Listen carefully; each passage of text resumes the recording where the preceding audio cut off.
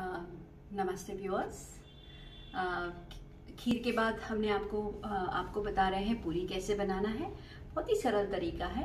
आप इन, उसको बना के देखिए और याद रखिए, जब हम पहली बार तलते हैं तो लाइट पिंक होना चाहिए और जब पलट देते हैं उसके बाद डार्क होना चाहिए थोड़ा।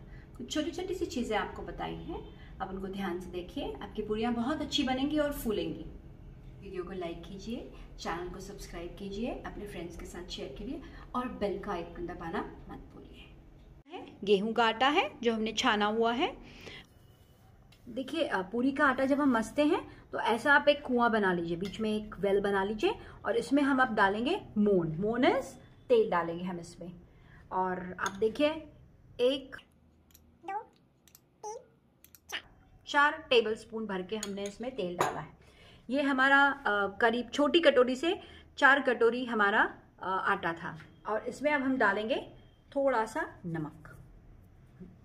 और अब इसको हम धीरे, अब इसको ज़रा मिला लीजिए।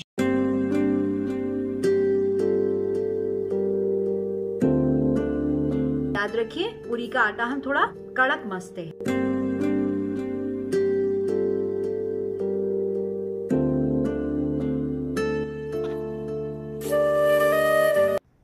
याद रखिए, आपको पहले भी बताया था, सबसे नरम होता है पूरन पोली का आटा, उससे थोड़ा कड़क होता है रोटी का आटा, उससे कड़क होता है पराठे का आटा, पूरी का आटा उससे ज़्यादा कड़क होता है, और सबसे कड़क आटा मसते हैं हम बाटी के लिए।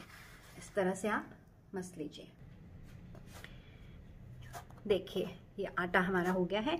अब आप एक बार इसको देखिएगा ज़रूर। देखिए कितना सुंदर दिख रहा है और कितना स्मूथ है। अगर आपको लगता है स्मूथ नहीं तो आप थोड़ा सा तेल में हाथ लगा के इसको लगा सकते हैं। एकदम स्मूथ होना चाहिए आटा।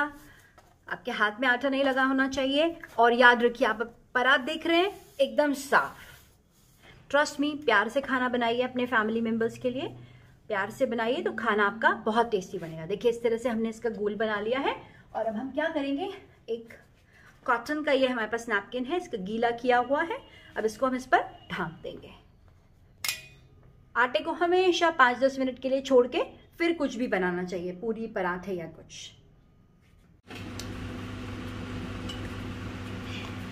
इस तरह से आप लोहिया बना लें और देख लीजिए, कुछ बड़ी छोटी हो तो एक साइज़ की बना लें। तेल ठीक से लगा लीजिए और फिर बेलिए। तो आपको अटायन लगाने की ज़रूरत नहीं पड़ेगी। देखिए, अगर आप अटायन लगाते हैं पूरी बनाने में तो आपकी अटायन जलता है। डालेंगे देखिए, घी। गरम तेल में।